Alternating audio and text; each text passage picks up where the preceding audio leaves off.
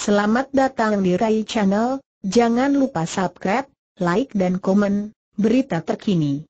Anak bikin nulah ini, Us Sulistiawati nangis menjerit.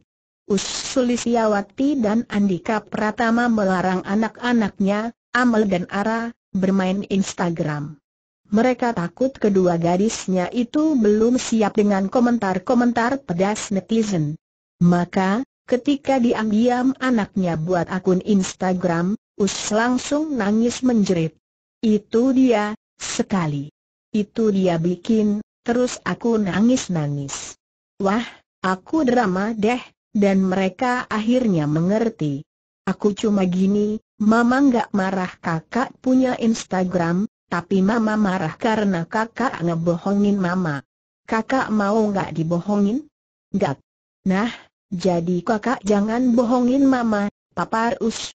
Dari situ, Us mencoba memberikan pengertian pada anak-anaknya tentang larangan punya Instagram, dengan menunjukkan contoh komentar yang menyakitkan. Melihat komentar pedas warganet, Amal dan Ara merasa sakit hati. Walaupun begitu, Us masih mengizinkan anak-anaknya bermain aplikasi media sosial lainnya. Ia dan Seng suami hanya melarang anak-anaknya bermain Instagram saja.